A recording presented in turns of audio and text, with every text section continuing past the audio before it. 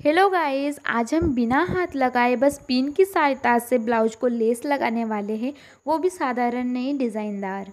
Guys hundred percent work करने वाली ये ट्रिक है। आपको ये ट्रिक बहुत ज़्यादा पसंद आने वाली है। ट्रस्ट मी गाइस अगर एक बार एक वीडियो आपने पूरा देख लिया ना लास्ट तक आप ये ट्रिक सीख ही जाओगे। बहुत आसान है गाइस ये करना। और ये ट्रिक आपको बहुत ज़्यादा काम आने वाली है, क्योंकि हम मोटी लेस तो आसानी से लगा लेते हैं मशीन पर। हम पतली लेस बिल्कुल भी मशीन पे लगा नहीं पाते हैं, वो अच्छे से नहीं लग पाती है, क्योंकि वो बहुत ज़्यादा पतली होती है, जिसके कारण मशीन अच्छे से उस पर चल नहीं पाती है और एक लाइन में सफ़ाई से नहीं लगती है टेढ़ी मेढ़ी लग जाती है। कितने भी स्लो और धीरे क्यों ना लगाए, फिर भी अच्छे से लग नहीं पाती है।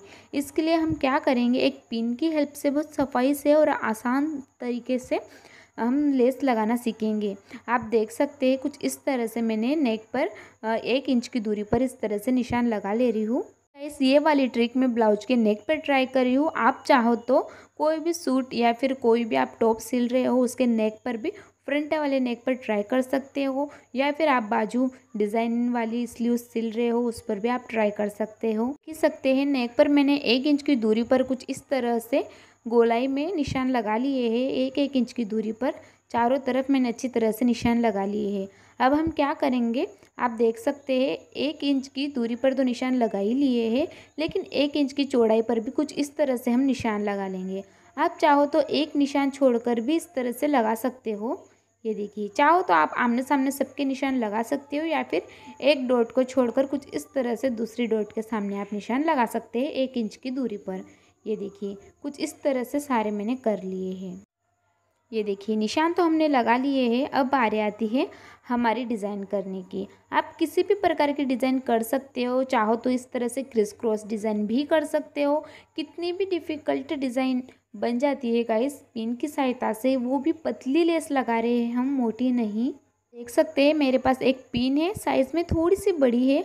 आपको क्या करना है, इस पिन को कुछ इस तरह से खोलना है और ये देखिए आप देख सकते हैं, यहाँ पर हमें ऊपर की ओर चिपका कर इस तरह से टक करना है, ताकि नीचे की ओर वो गिरे ना। ये देखिए, ऊपर जो है ना, ये देखिए, इस तरह से अच्छे से मैंने टक कर दिया है और हाथ लगा के देख लीजिएगा कि नीचे की ओर वो गिर ना पाए। कुछ इस तरह से पतली सी लेस मैंने ले लिया आप देख सकते हो, आप इसे डोरी भी बोल सकते हो, क्योंकि ये डोरी जितनी पतली है, कुछ इस तरह से मैंने पीछे होल होगा, उसके पीछे से हमें इस तरह से डोरी को डालना है और पीछे टक कर लेना है। ये बंडल को आप ज़मीन पे रख सकते हैं या फिर ऐसी जगह पे अटका सकते हैं जहाँ से वो ईजिली रोल हो। आप देख सकते हैं गाइस कुछ इस तरह से हम डिज़ाइन बनाने वाले हैं। चलिए फटाफट स्टार्ट करते हैं और कोई दिक्कत नहीं आती है सिलाई लगाने में। आप देख सकते हो, पीछे से भी मैं पलटा के बता रही हूँ, कितनी मजबूती से हमारी जो सिलाई है वो लग चुकी है। हमें क्या करना है? कुछ इस तरह से पहले कपड़े पे ट्राई करके देख लेना है। हमारी सिलाई अच्छे से मजबूती से आ रही है। देखिएगा, इसमें लेस को बिल्कुल भी हाथ नहीं लगा रही हूँ।